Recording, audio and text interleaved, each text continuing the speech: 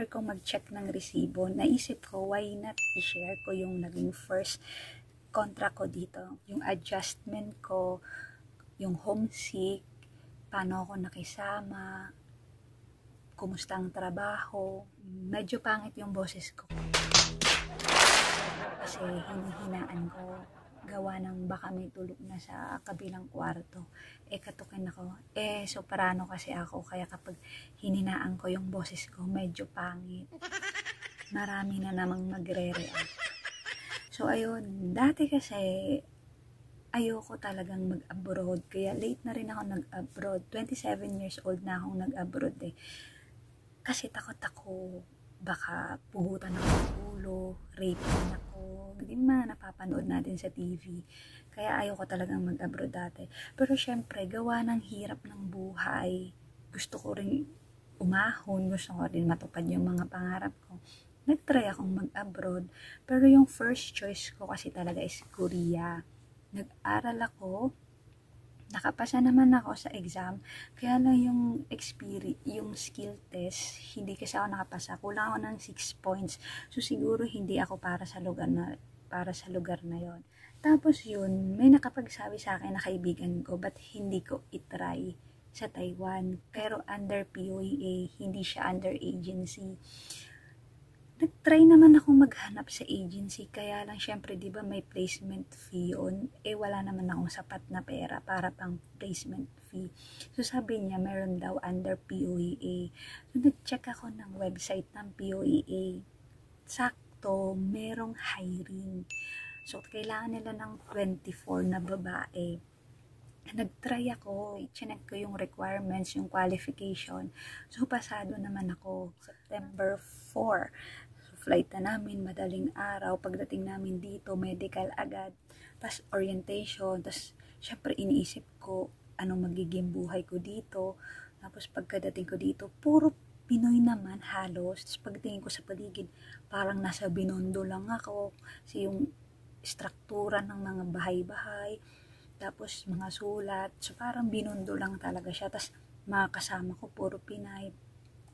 Yung pakikisama ko, okay naman kasi marunong naman ako makisama sa tao. So, hindi ako nahirapan doon. Pagdating sa tao, makakasalumuha mo yung iba't ibang ugali na meron ng tao. So, depende na lang sa'yo kung paano ka makisama, kung paano ka mag-adjust sa paligid mo.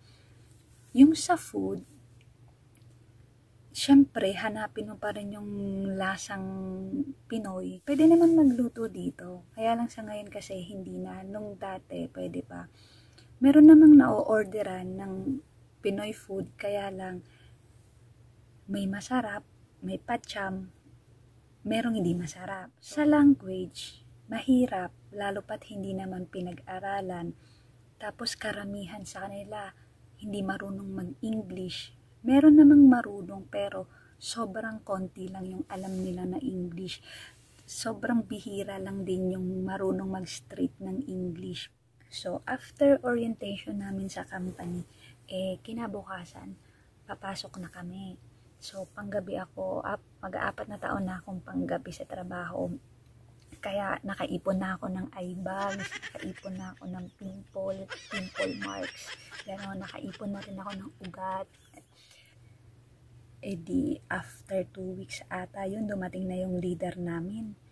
Eh di, ando na yung takot ko kasi sabi-sabi nila, salbahe, masungit.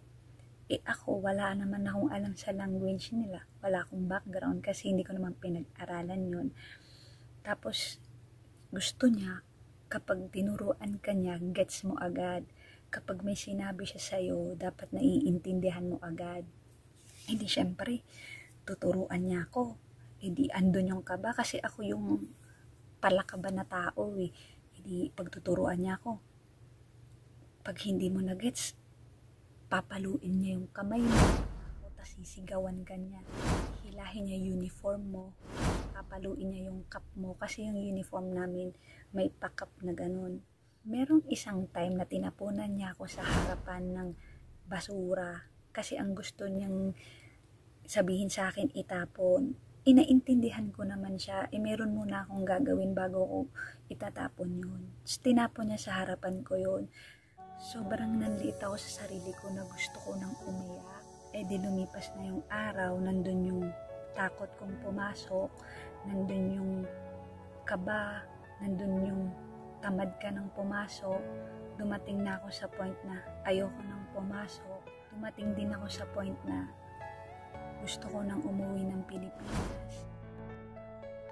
Tapos naisip ko, ba't ako susuko? Si Jessica ako eh. Dapat mas malakas ako sa kanya. Di pinag-pray ko siya.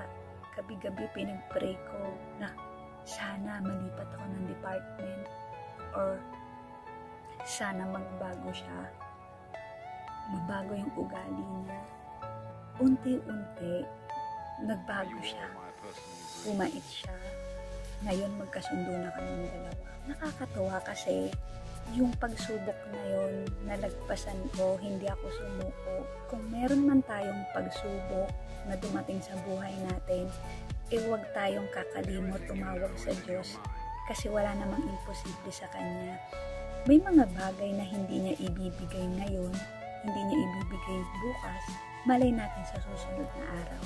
Tsaka mas magandang masunod yung plano niya kesa sa plano natin. So guys, kung nagustuhan niyo yung kwento please like, comment, and share. Tapos kung hindi pa kayo nakapag-subscribe sa akin, please to subscribe. Tapos pakitap po yung notification bell para updated po kayo sa mga next videos ko. Good night! Thank you for watching! Thank you.